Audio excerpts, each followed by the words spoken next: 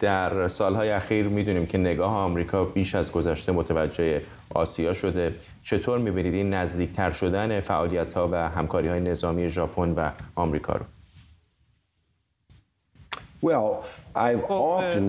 من بعضی وقتا این رو می‌بینم که یک رابطه خاصی وجود داره با ژاپن.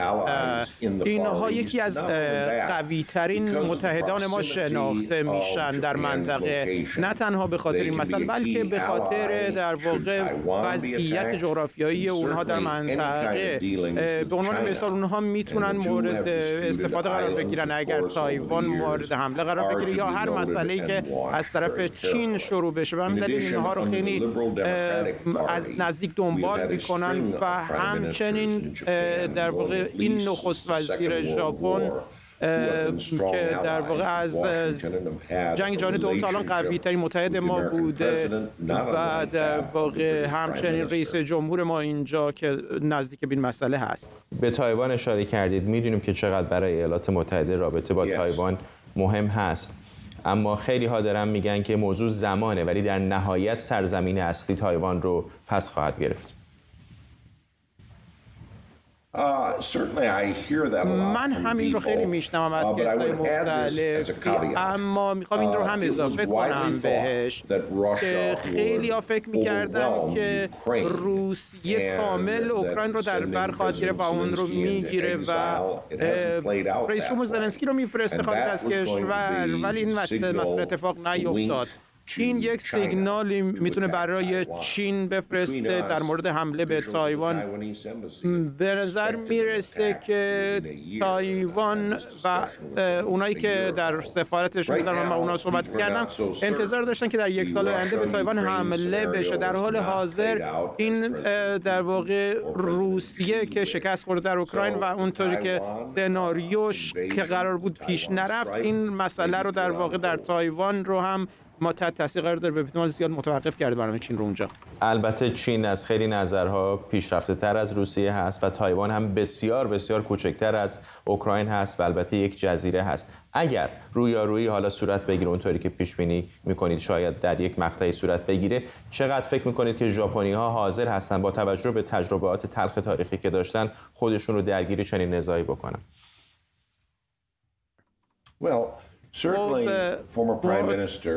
نخست وزیر قبل سنجا به موقع که ایشون زنده بود. به نظر می رسید که داشت خودش رو آماده می کرد برای همچین حمله که اگه اتفاق بیفته همچین برخوردی.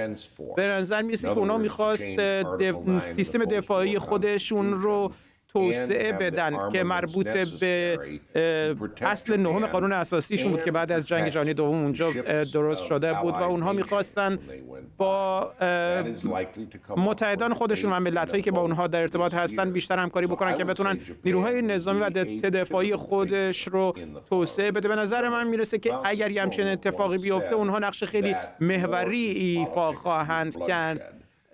یادتون باشه خیلی یا گفتن که در واقع جنگ تداوم و تداوم سیاست هست به یک شیوه خونریزی شده.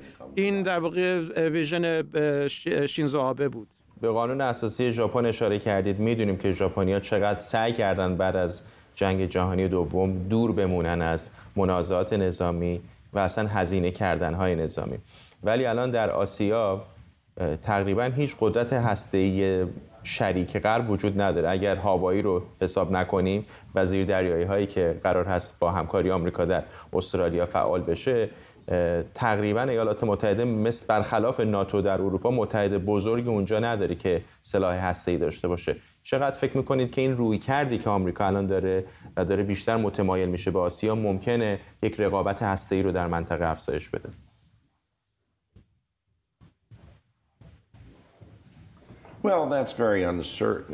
این خیلی مشخص نیست در حال حاضر. مشخصا چین می‌خواد که تایوان رو در کنترل بگیره به طور کامل کنترل بکنه بدون اینکه هیچ در واقع مشکل اساسی در موردش به پیش بیاد و صد راهش قرار بگیره. و در واقع اون چیزی که بهش می‌گفتن که تایوان تبدیل بشه به بخشی از سرزمین پدری همه رهبران چین از اون موقع تا الان در موردش صحبت کردن اما اتفاق نیفتاده. در مورد مسئله هسته‌ای باید یک چیزی رو یادتون باید یک چیز به یادتون بیارم و اونم اینه که در واقع این یک مسئله خیلی ساده نیست. 250 هزار نیروی نظامی چینی بدون اینکه اصلا احتیاجی به سلاح هسته‌ای داشته باشن می‌تونن کنترل اون رو در واقع کنترل تایوان رو به, به اختیار خودشون بگیرن و نیازی به نیروی هسته‌ای نخواهند داشت. در واقع و می‌بینیم که در حال حاضر چین تایوان داره نگاه می‌کنه که پروازهای چین ها رو مد نظر می‌گیره و اونها رو از نزدیک نگاه می‌کنه. نظارگر هست. اگر نگاه بکنیم که در واقع بگیم که حمله اونجا صورت بگیره و شکست بخوره چینی ها ناچار خواهند بود که دوباره استراتژی خودشون رو بازبینی بکنن. جانگیزی خبرنگار پیشکسوت خیلی خیلی ممنونم که دعوت ما رو قبول کردید همیشه باعث افتخار من هر موقع که خواستین به من خبر بدین.